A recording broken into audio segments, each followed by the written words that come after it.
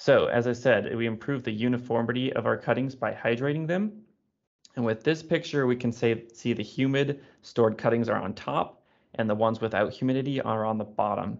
And everywhere we see a little circle, that's cuttings, or those are cuttings that didn't root well. And that variability that we see here is going to transfer down the line to our liners, to our finished. They're going to get blown out. So this, these are the shrink and the losses that we're seeing. And we really want to reduce that as much as possible in getting a uniform crop with every single cutting as much as possible. So we talked about storage a little bit too. So what do you want to store at? Uh, we've got a variety of different species or genera that we're working with in the greenhouse right now, and they can have different sensitivities to temperature. If you think about where a plant is native to, whether that be the tropics um, or more in northern latitudes, that can really give you an indication of what you might want to store these cuttings at. For the most part, we want to avoid really cold temperatures, so things that are closer to 32 uh, degrees Fahrenheit or 0 degrees Celsius. But things that can take some cold would be our major crops like petunia, verbena, and geraniums. A lot of perennials as well also like that really cold temperature. When we get up into the 50s or even 60, those are a lot of our chilling sensitive crops. And what I mean by chilling is that once these cuttings experience a temperature above 32 degrees, they could start senescing, getting this brown lesion or coloration in them.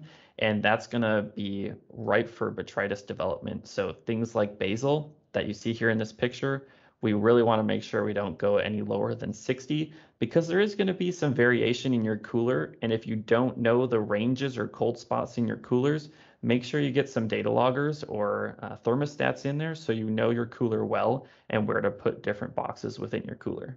How do you know which crop to store first? Uh, well, we do have some ethylene sensitive and storage sensitive crops, those being geranium. So this is one that you're going to want to get right away. Make sure it's cool and hydrated, but stick as soon as possible. We want to avoid any leaf yellowing or leaf, leaf abscission because again, that's going to allow for botrytis to come in and decimate that crop. Lantana is another one of those that can easily yellow. But then as you go down this list, you'll see things like high essential oil crops, things that we call HEOs. Uh, those ones do not like to be stored for a long period of time either, and we really need to make sure they're hydrated. So make sure you keep this list uh, accessible to your crew so they know which ones they need to stick first, especially if they're storing cuttings for any amount of time.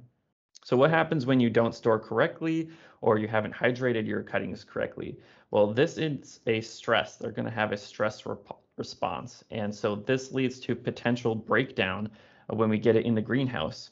So things like improper temperatures. If we're too low and we induce chilling injury, we can get breakdown, disease development, and um, death and loss if within our greenhouse. So any type of stress is going to allow for disease or even physiological disorders. So abnormal growth that could reduce the aesthetic of a plant and its salability is something we want to avoid. Uh, if any of you have grown ipomoea or sweet potato vine, uh, this is a crop that is really sensitive to stress. And if you have stressed cuttings, say for temperature, that's really going to allow opportunistic pathogens like uh, bacteria or even viruses come out. And we're going to touch on that in a little bit more in the next slide.